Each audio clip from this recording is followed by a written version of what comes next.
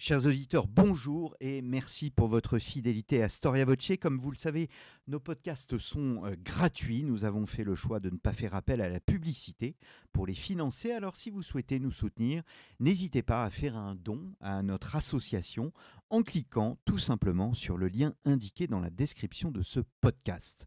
En faisant un don, eh bien vous recevrez, nous vous offrirons l'association vous offrira plus exactement un abonnement à Histoire et Civilisation. Merci d'avance. Geneviève Varland, bonjour. Bonjour. Merci d'être venu à nous depuis euh, la Belgique. Vous êtes historienne, professeure en historiographie et histoire publique à l'Université catholique de Louvain et vous venez d'éditer une partie des œuvres d'Henri Pirenne. Henri Pirenne, Histoire de l'Europe, œuvre choisie chez Quarto, dans la fameuse collection Quarto, euh, chez euh, Gallimard. Alors quand on évoque Henri Pirenne, on pense à des grandes figures comme Lucien Fèvre, Fernand Braudel, Georges Duby ou Jacques Le Goff. C'est peu dire qu'Henri Pirenne fait partie du tout petit cercle des papes de l'histoire. Comment expliquer cette incroyable influence de cet historien belge? Alors, il a eu une influence vraiment extrêmement importante. Donc, vous avez évoqué une série d'historiens très importants. Il manque encore un nom à ceux-là, c'est celui de Marc Bloch. Et Henri Pirenne était en effet considéré un peu comme le père des annales, des annales d'histoire économique et sociale, la revue créée par Marc Bloch et Lucien Fèvre en 1929. et il souhaitait avoir Henri Pirenne comme directeur de revue, celui-ci étant fort chargé, fort sollicité après la guerre par différentes occupations et responsabilités, a décliné cette offre, mais il a par contre vraiment suivi le processus de création de cette revue par deux historiens à l'époque strasbourgeois qui deviendront ensuite un des professeurs ici à Paris et absolument incontournable pour la refondation de l'histoire économique et sociale en France après la Première Guerre mondiale. Hmm. Alors j'ai souhaité euh, intituler cette émission Penser l'Europe et la Méditerranée euh, médiévale, parce que Henri Pirenne nous renvoie immédiatement à son œuvre majeure, mhm. Mahomet et Charlemagne. Pourtant, on ne sait pas, ou peu savent en tous les cas, qu'il s'agit d'une œuvre posthume. Oui, alors elle était en réalité terminée dans sa première version, quand il est décédé en 1935, non seulement écrite intégralement par lui, mais également retranscrite par sa femme avant d'être envoyée à l'éditeur. Et, et, donc il avait en réalité déjà réfléchi aux thèses que l'on retrouve dans Mahomet et Charlemagne sur plus de plus de 15 ans. Hein, le premier article date de 1922 et euh, cette idée euh, de, rupture dans euh, la circulation méditerranéenne qu'il place plutôt vers le 7e siècle, 7e, 8e même siècle, il, donc contestant par là les thèses des historiens germanistes, elle a germé chez Pirenne pendant la Première Guerre mondiale. Mmh. Et elle vient d'autres travaux, bien sûr, alors, nous allons euh, y revenir naturellement euh, plus tard euh, sur cette œuvre majeure, Mahomet et, Charlemagne. L'émission Pourquoi tant d'histoire évoque les grands courants historiographiques, les grands historiens. Donc, je souhaiterais peut-être d'abord évoquer quelque peu son, existence. Il naît en 1862 près de Liège, dans un milieu aisé, qui travaillait dans, dans le monde du textile. Et très vite, alors c'est une, une lapalissade, mais et ça vaut pour tellement de grands historiens, historien, on le remarque pour ses talents, sa mémoire, mais curieusement, il ne s'oriente pas tout de suite vers l'histoire. Non, il avait commencé des études de droit euh, sous euh, la contrainte paternelle qui euh, le voyait volontiers reprendre l'usine de textile familiale, mais ne se montrant pas extrêmement doué en mathématiques. il, il s'est dirigé vers le droit et le droit ne lui convenant pas non plus, il avait entamé à l'université de Liège en parallèle des études d'histoire et obtenant d'excellents résultats, le paternel l'a finalement autorisé à poursuivre et terminer d'ailleurs brillamment ses études. à l'université de Liège.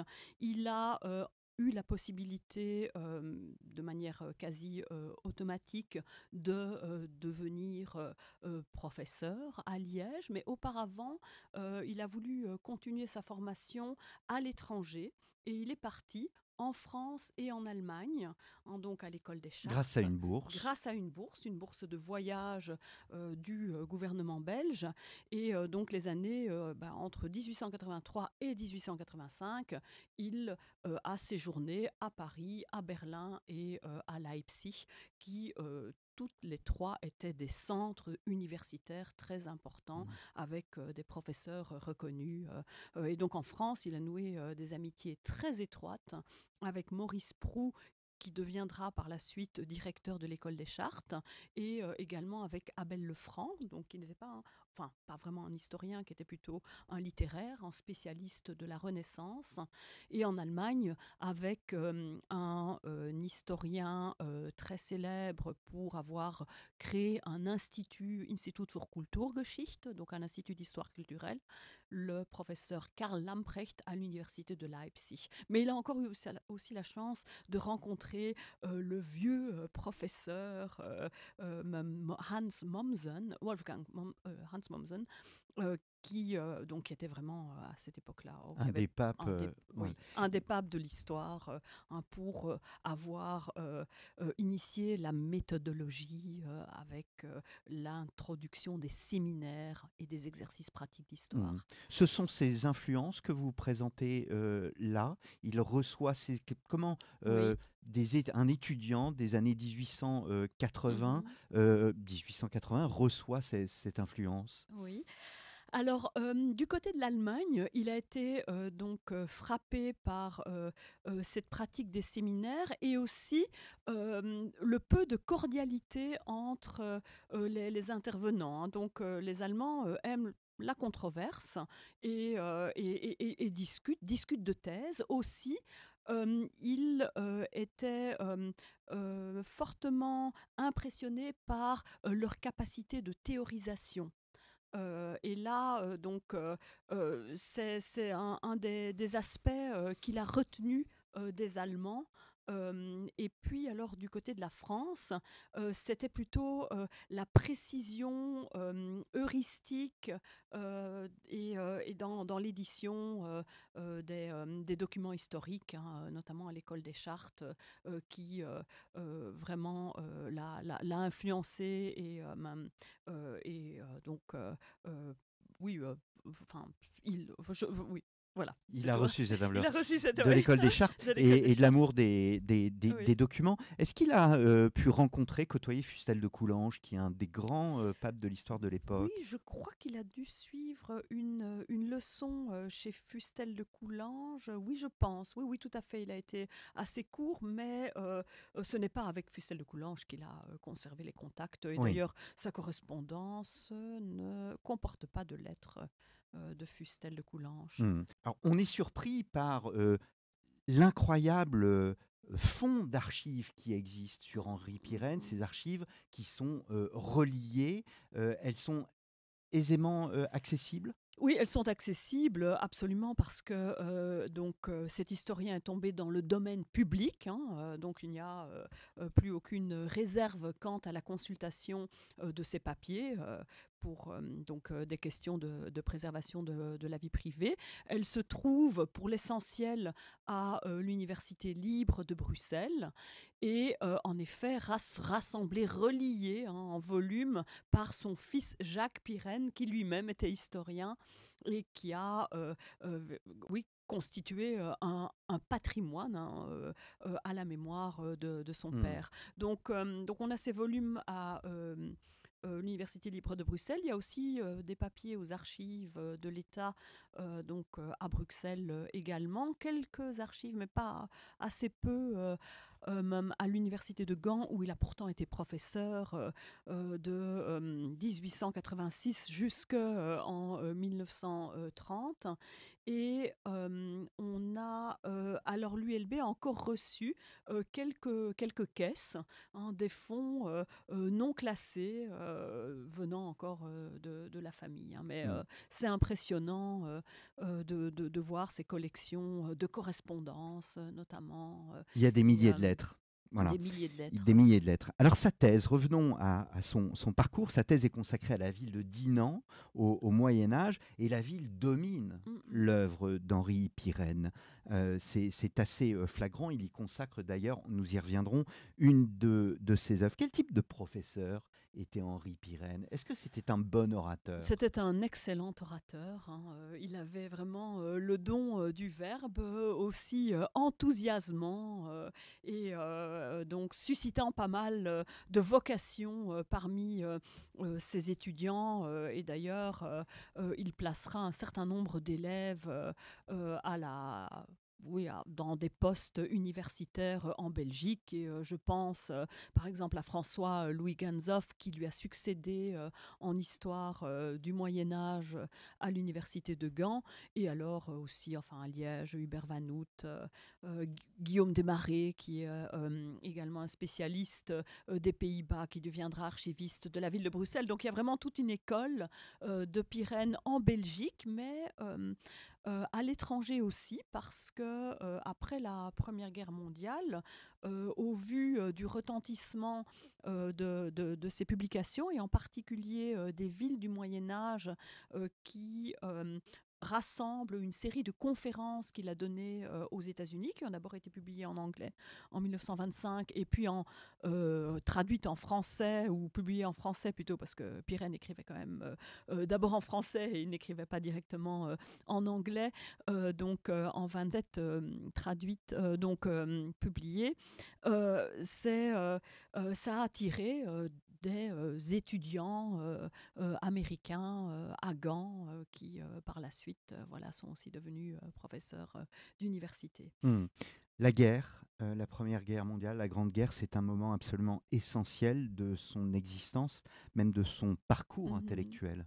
Oui, oui, alors, donc il a été déporté en Allemagne parce que considéré comme très dangereux. Voilà, considéré comme très dangereux, comme meneur de l'opposition à la réouverture de l'université de Gand comme université exclusivement flamande, hein, aujourd'hui on dirait plutôt néerlandophone, euh, à, suite au souhait hein, de, du gouverneur von Bissing de proposer un enseignement exclusivement en flamand. C'était d'ailleurs une des revendications que l'on trouvait dans les milieux flamingants avant la guerre.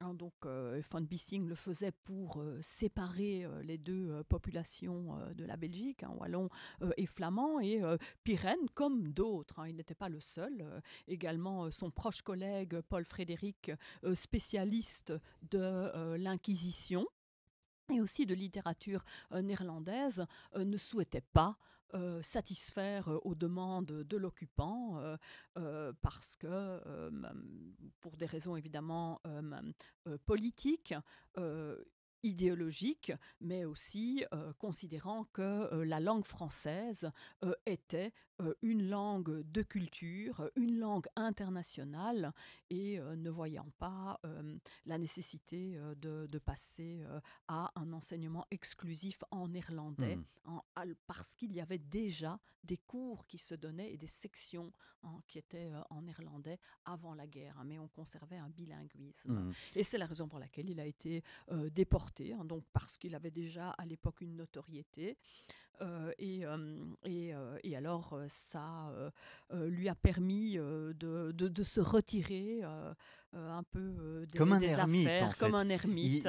vous le présentez, quand, enfin, il est, il est présenté comme un, comme un ermite, comme un euh, voilà, il, utilise son temps et pour au fond ne pas devenir fou de cette, euh, de cette déportation, eh bien, il se lance dans une de ses œuvres majeures, euh, son histoire de l'Europe. Mmh. Oui, une histoire de l'Europe donc écrite sur des, cahiers d'écoliers, écrite quotidiennement hein, en, comme une forme, oui, de, discipline, hein, d'hygiène de vie pour garder une vivacité d'esprit et alors rassembler des idées qu'il portait en lui depuis longtemps. Hein, et ce livre est une forme de bilan sur le, commerce, hein, les villes, la, création des villes et le commerce qui font partie vraiment des, thèses majeures d'Henri Pirenne.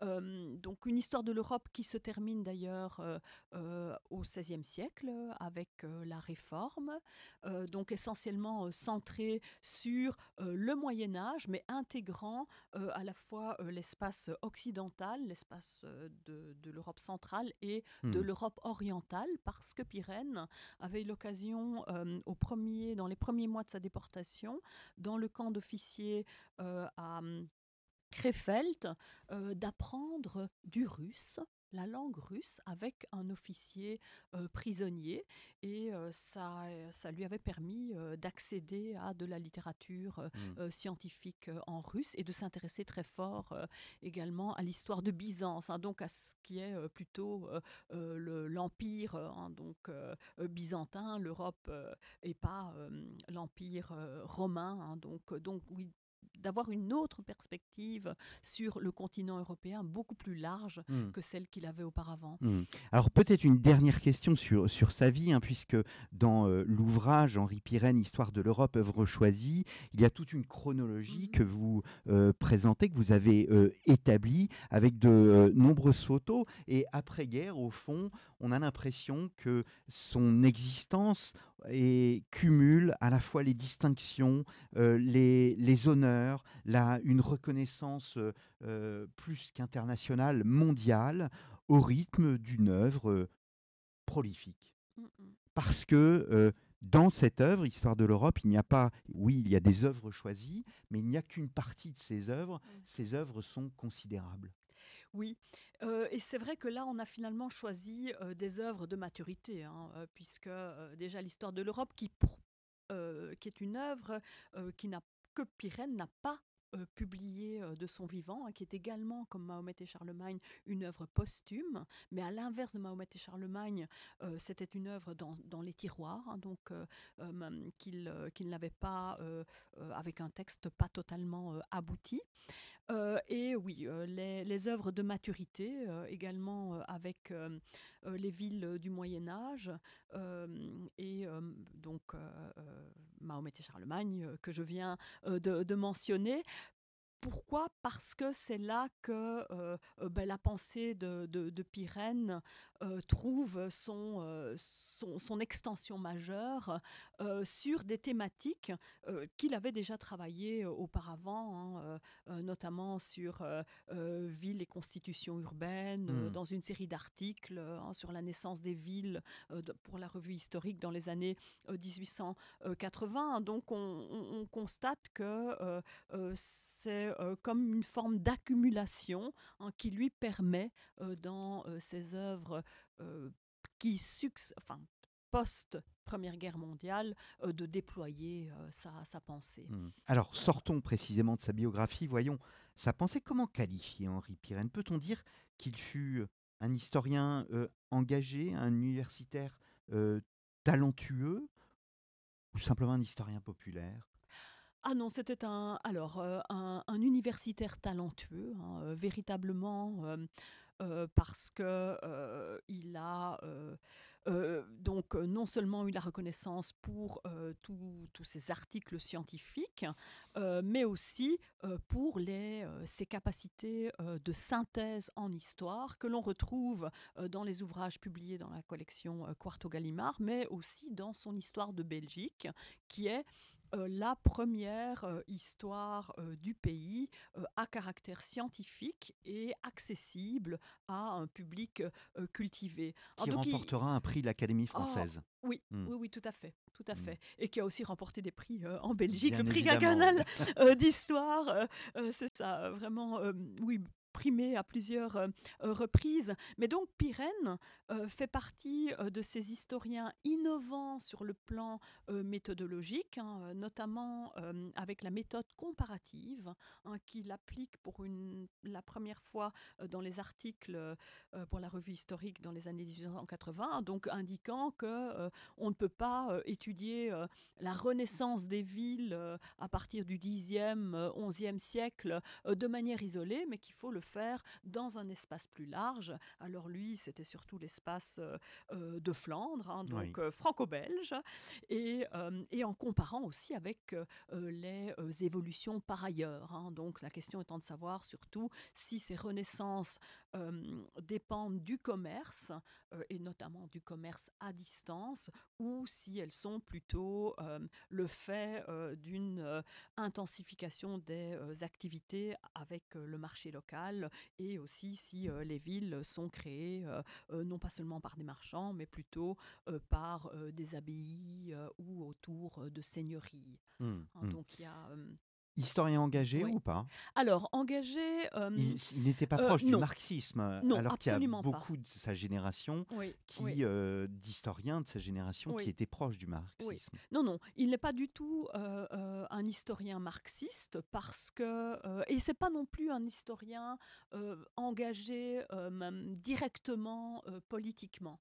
bien entendu, il a des thèses, hein, je, je, pourrais les énoncer, et notamment si on pense euh, à euh, l'économie, euh, bah, ce serait plutôt un historien de type capitaliste, hein, au sens où il met en avant la liberté de commerce, la libre concurrence, et où il considère que ceux qui sont à la base de la création de villes, de villes nouvelles, ce sont des marchands, des marchands aventuriers, euh, donc des, des, personnes qui euh, euh, prennent des risques, qui voyagent loin pour ramener des marchandises et qui donc sont, ne, ne, dépendent absolument pas des autorités locales, hein, sont libres par rapport aux seigneurs. Donc là, c'est pas.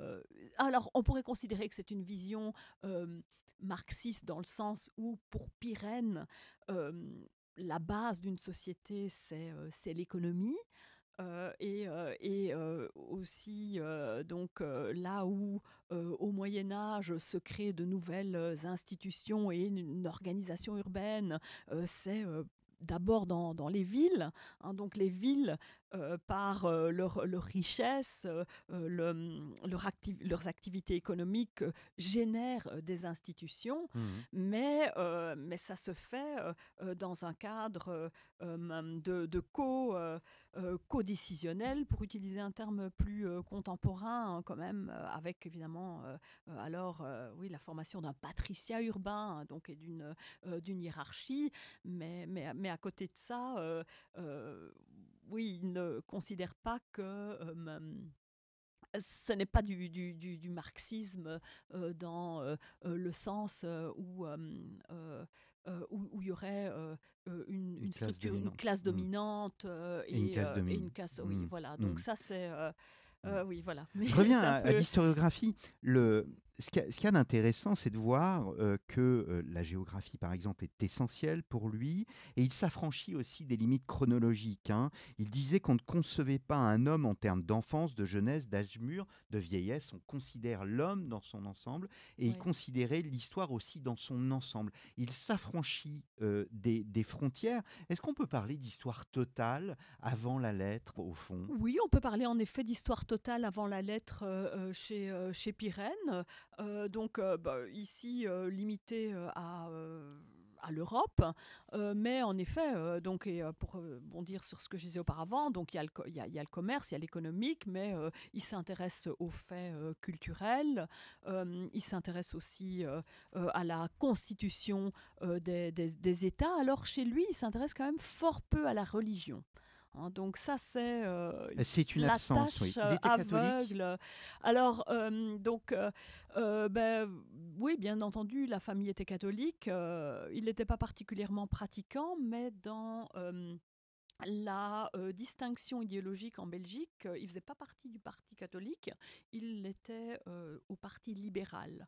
Hein, mais, mais, donc distinguant la, pratique religieuse qui est limitée au domaine privé de, de l'État, du mmh. domaine public qui est donc oui laïque, mmh. même si bon la religion reconnue en Belgique à son époque était essentiellement le catholicisme, avec hein, la possibilité pour les autres confessions, hein, juives notamment ou protestantes, de pratiquer le mmh. culte. Donc il y avait une liberté en Belgique de religion. Donc euh, il sous-estimait le fait religieux dans, il a sous-estimé le fait religieux dans ses travaux. tout à hmm. fait, sous-estimé le fait religieux dans ses travaux. Et ça, c'est important, euh, notamment euh, pour expliquer la scission entre les Pays-Bas du Nord et les Pays-Bas du Sud au XVIe siècle. la plupart des, historiens considèrent que ben, la constitution des Pays-Bas actuels, qui, a, qui ont comme religion principale la religion réformée, donc se sont affranchis euh, de ces 17 provinces des Pays-Bas euh, qui se trouvaient sous euh, l'autorité des Habsbourg espagnols, mmh qui étaient des rois catholiques, eh bien, se sont affranchis essentiellement pour des raisons religieuses, hein, mmh. suite à, au mouvement de la réforme et euh, cette explication euh, religieuse de la scission entre les deux parties et aussi de la de l'échec de la reconquête dans les, provinces du Nord, eh bien Pyrène ne parvient pas à accepter cette forme d'explication donc entre donc religieuse hein, de séparation mmh. entre un nord protestant et un sud qui est resté mmh. catholique qui va plutôt le mettre ça sur le compte de, défaites militaires mmh. hein, de l'armée du duc d'Albe qui n'est pas parvenu à reprendre Leyden et d'autres villes. Et pourtant Mahomet et Charlemagne, Mahomet on sait très bien que dans le monde médiéval, religion et politique sont intimement mêlés. Ils voyaient la chose comme un fait, euh, l'émergence de l'islam comme un fait en Méditerranée, comme un fait politique et religieux ou simplement politique? Simplement politique. Essentiellement politique, oui. Mmh. Euh, et euh, la, en fait, oui, la, question de la religion, euh, euh, il n'y a jamais porté euh, un grand intérêt. Ici, c'est plutôt cette conquête hein, jusqu'en Espagne et, alors le, le contrôle par les bateaux des, des, des, rois je ne sais plus comment. C'était pas grave. Voilà, exactement. Donc, euh, donc, donc, donc, donc, le contrôle par, euh, par les musulmans euh, des ports qui, qui finalement ici ralentit et même provoque une rupture du, du, commerce entre, les, entre Byzance et, et Rome. et, donc, donc oui, donc c'est pas, mais la religion, il, il, l'évoque un petit peu et de manière assez négative hein, mmh. pour l'islam, mais ça reste marginal. Hmm. Alors venons-en donc à, cette thèse que vous évoquez. On tourne un peu autour, mais euh, nous allons euh, plonger euh, dans, dans, cette thèse. Est-ce que Henri Pirenne est le premier à se poser la question de la naissance du Moyen Âge? Alors pas tout à fait parce que Gibbon, hein, donc un fameux historien anglais, hmm. donc dans son déclin de l'Empire romain, euh, en, avait, en avait parlé.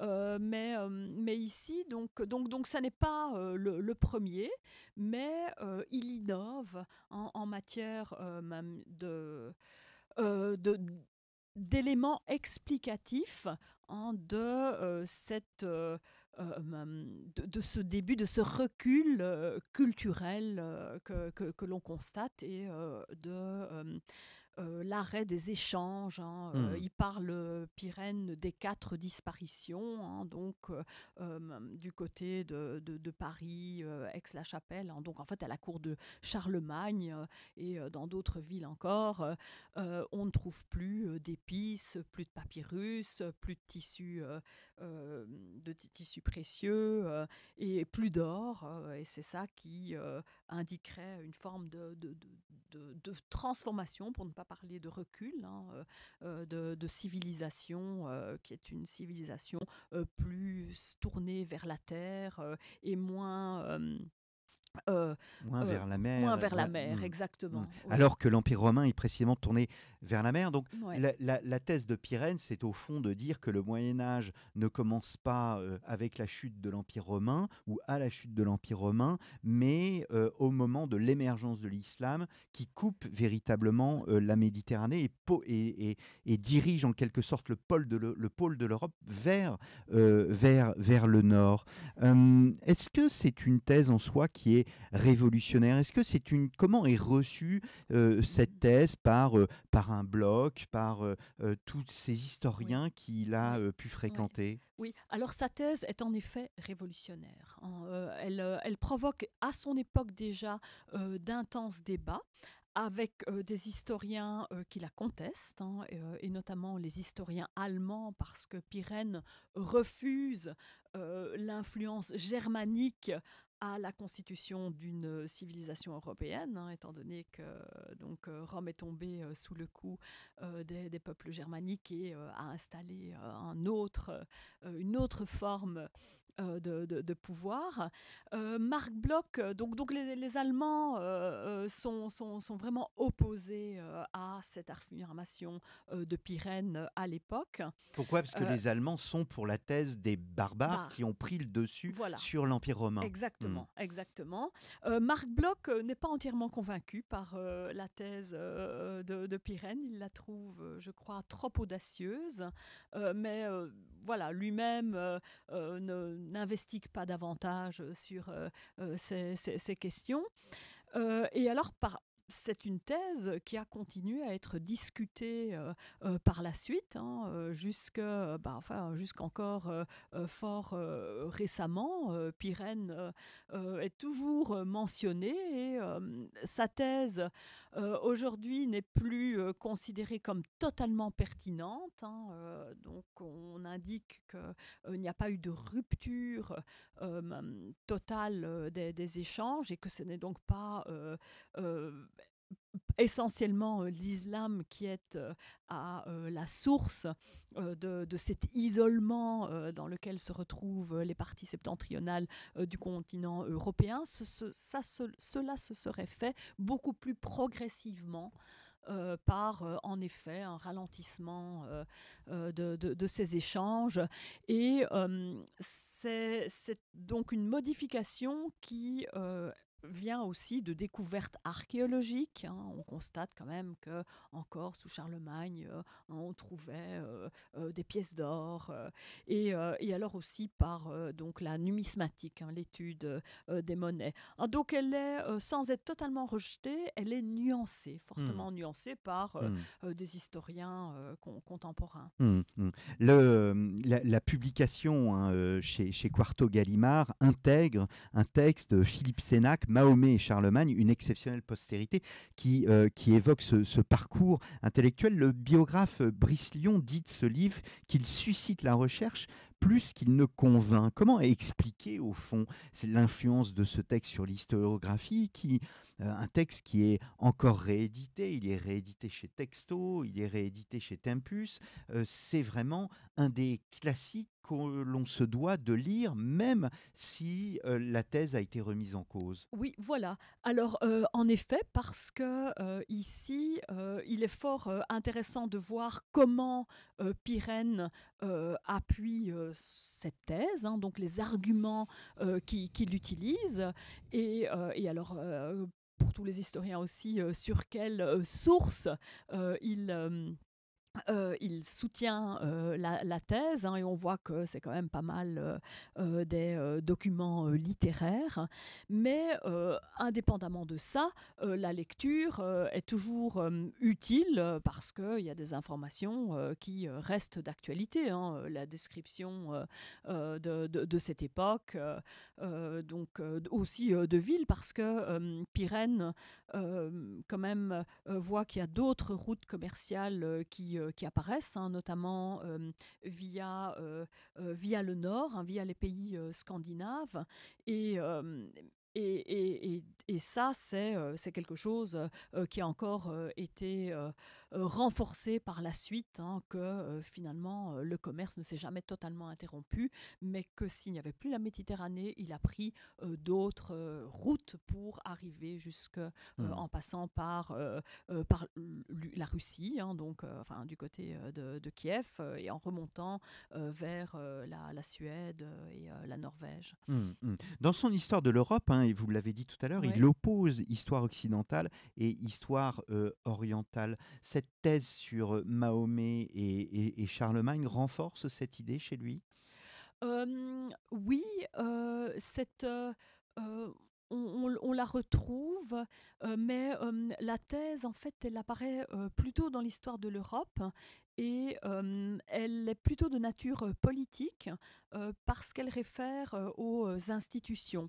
Et là, c'est un, une, oui, une influence des, circonstances de, de, Pyrène, donc de sa déportation et de son internement en Allemagne, où il souligne que l'Europe occidentale s'est dirigée vers des institutions démocratiques beaucoup plus tôt que l'Europe centrale et orientale. Hein. Et là, il mmh. pense à l'Angleterre, avec donc la, mmh, l'installation d'une république, donc et de le, Parlement, donc le Parlement, alors que en Allemagne, donc et aussi dans l'Empire russe, on a une structure sociale nettement plus hiérarchisée et où il oppose l'aristocratie aux sujets, hein, donc les individus sujets qui ne sont donc pas citoyens comme mmh. ils pouvaient l'être en Angleterre et aussi en France. Donc ça c'est un, un élément qui, est, qui est vraiment fondamental dans l'histoire de l'Europe, mais pas, pas tout à fait en lien avec ici la thèse économique et la thèse sur Mahomet et Charlemagne. Hmm.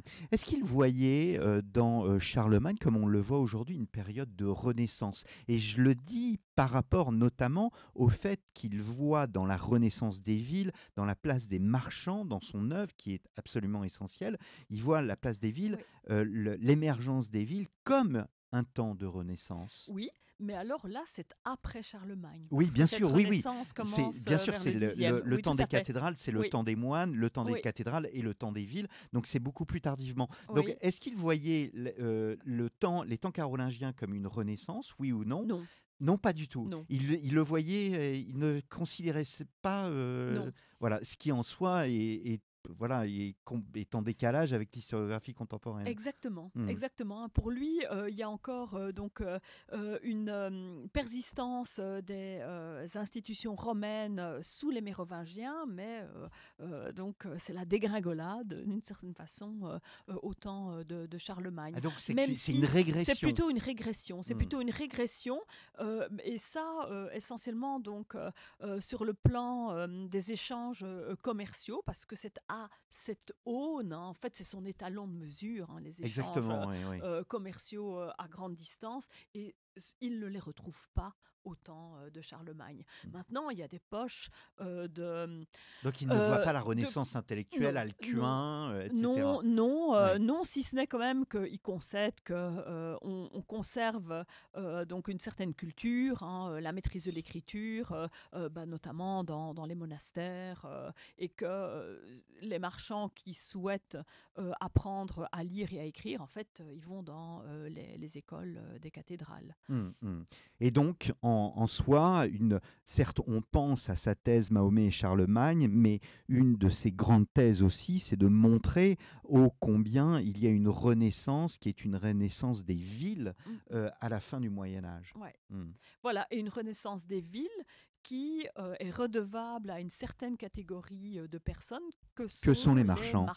Hmm. Hein, les marchands, des aventuriers, euh, des, donc, bah, des hommes sans attache aussi, hein, qui, bon, qui à un moment donné s'installent, hein, deviennent des patriciens des villes, mais alors il y a des renouvellements, toujours de nouveaux marchands, et c'est grâce à ces personnes qui arrivent avec des biens et qui s'installent aussi autour de la ville, dans les faubourgs, que que, que qu'elle renaisse hein, et qu'elle retrouve du dynamisme. Mmh. Ça, c'est ça, c'est la grande thèse mmh. pyrénienne. Geneviève Varland, nous arrivons au terme de, de, cette émission. Peut-être deux dernières questions. Une question tout d'abord personnelle. Qu'est-ce qui vous séduit le plus dans l'œuvre d'Henri mmh. Pirenne? Qu'est-ce qui même vous marque intellectuellement, voire vous a influencé dans votre parcours Oui, alors moi, il y a deux choses. Donc d'abord la méthode comparative. Hein. donc le, fait que euh, Pirenne euh, n'analyse jamais un phénomène euh, dans, dans son, son contexte particulier, mais établit hein, des, des, rapports, des liens avec un phénomène comparable dans d'autres pays. Donc ça, c'est un premier élément. Un second élément, c'est c'est un caractère à la fois visionnaire et aussi tout à fait accessible. il a une langue fabuleuse et c'est vrai que ça fait maintenant quand même un certain nombre d'années que, je fréquente les œuvres de Pirenne et, je ne m'en lasse pas. donc il a, il, a, il a cette capacité de d'énoncer les éléments très clairement, de façon aussi très imagée, euh, avec euh, en, très peu de mots. Hein. Euh, je vais prendre un exemple quand il dit, enfin aussi par rapport à la Belgique, une, une de ses thèses, c'est de dire que on a une forme de civilisation belge depuis le Moyen Âge, qui se caractérise évidemment par les villes, par mmh. des villes ouvertes sur le monde, cosmopolites, euh, et que on a bien sûr jusqu'en 1830 été euh, euh, même dominé par d'autres d'autres États, d'autres empires. Mais alors il a pour la période espagnole et autrichienne une formule incroyable en disant que les Autrichiens n'ont jamais pu germaniser les Belges comme les Espagnols les avaient espagnolisés. Donc avec même des formes de création de mots et, et et pour ça, euh, parce que c'est clair qu'il y a une série de faits et même d'évolutions, de phénomènes euh, qui restent euh, qu'il décrit et qui sont encore et toujours mmh. d'actualité. Alors dans son apologie pour l'histoire, et ce sera ma dernière question, Marc Bloch, le grand Marc Bloch, évoque une conversation avec Henri Pirenne qui lui aurait confié « Si j'étais antiquaire, je n'aurais Dieu que pour les vieilles choses, mais je suis historien, c'est pourquoi j'aime la vie. » L'historien n'est pas seulement l'histoire n'est pas mmh. seulement une réflexion sur le passé, c'est une réflexion sur la vie pour Pirenne Oui, une réflexion sur la vie, une réflexion sur, sur le présent, hein, parce que euh, il aime également décrire euh, les, activités des, individus et il s'est fort ben, inspiré de ce qu'il voyait dans ses promenades dans la ville de Gand, hein, donc les, les, les agents des de, de, de, sociétés commerciales euh, et alors il, il transpose en quelque sorte au Moyen Âge tout en ne, ne faisant pas d'anachronisme. Mais donc il y a euh, euh, cette idée quand même que euh, bah, que, nos sociétés sont euh, basées sur, euh, les sur l'activité, hein, l'activité humaine, les échanges, et que, et que ça, ça définit la vie. Alors, il n'y avait pas encore de préoccupation environnementale, ni d'ailleurs assez, ni non plus très féministe chez Pirenne. Hein. Donc, on mmh. peut quand même. On n'a pas parlé de sa femme, sa femme a un rôle très ah important. Mmh. Voilà. C'est vraiment la femme de l'ombre, mais qui, Ouais. euh, qui agit, Ouais. qui écrit beaucoup Ouais, et euh, qui le soutient. Voilà. Eh bien, on restera sur cette image. Merci beaucoup, Mhm. Geneviève Warland. Henri Pirenne, Histoire de l'Europe, œuvre choisie dans la collection euh, Quarto chez Gallimard. Il me reste à vous remercier, chers auditeurs, chers téléspectateurs, puisque nous sommes en vidéo sur Internet pour votre fidélité à Storia Voce. N'hésitez pas à parler de nous autour de vous. N'hésitez pas à vous rendre chez votre kiosque préféré pour acheter Histoire et Civilisation. Et il me reste à remercier Laure et Mathilde pour euh, nous avoir aidés à réaliser cette émission. Et je remercie euh, notre fidèle Georges pour le montage. Merci beaucoup et je vous donne rendez-vous la semaine prochaine pour une nouvelle émission de Storia Voce.